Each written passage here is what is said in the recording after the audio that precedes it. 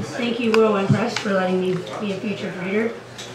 The input for publishing my work. Also, thank you, Bob, for filming this.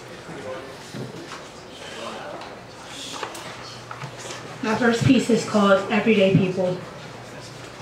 Mirages of daylight, outcasts with toothless, toothless friends, prefer cardboard to carbohydrate to sustain the hunger for validation even their shadows crave from time to time. Showered in shame, water douses only the privileged in the land of opportunity, lest the heavens emote. Oh, to lick the salty trepidation from the eye of an American bushman with chapped lips floundering. The ribs have become a game of fiddlesticks, a piercing stare from onlooker passing. The coin toss of miscommunication boomerangs from two expressionless faces. Nevertheless, a leftover drumstick is most fitting for Pavlov's dogs. A forgotten veteran with missing limb mounted on a chrome wheel, distilled in excellence, explains he would prefer acknowledgement, acknowledgement to pity. A youth in subway corridors slumbers, contorted like origami during the confetti season, and is disenfranchisement of dumpsters as fulfilling as banana pills or half-eaten three-course meals. An overwhelming scent of ammonia lingers in an unknown alley, a woman genuflects to the wind, the only element to call her name, but she is not schizophrenic.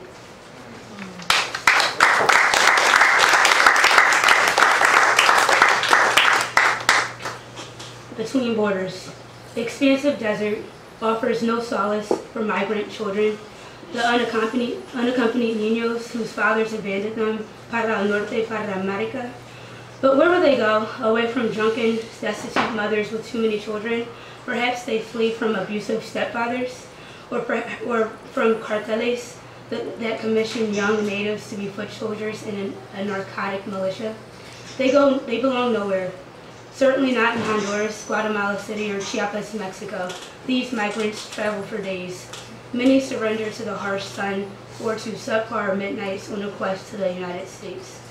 These valiant nobodies look forward to una vida mejor, a better life. Little do they know about the discrimination, detainment, or anti-migration anti protests, or the fact that they will develop an eternal fear of La Migra. No names, no, no identities, no green cards. These unknown Hispanic children exist only in concept.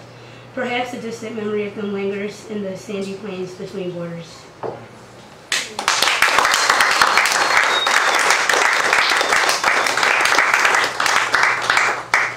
Final piece is dedicated in memory of Sam Allen, and although I didn't know him, I know how it feels to miss someone very deeply and very earnestly. And so it took me a very long time to really um, conjure up the emotion needed to really uh, honor such a, a, great legacy. So with that being said, I also honor uh, Lamont Steptoe reading, Frame of Reference. Egress from reality which beckons in deliberate manner the pontifications of your memories supersede religion and all else. Your name becomes a cloistered object in the throat, moistened by the saline of backwashed emotion. In those moments when the curtain of life dissolves, in that midnight hour, our journeys merge, lest I awake too soon. Thank you.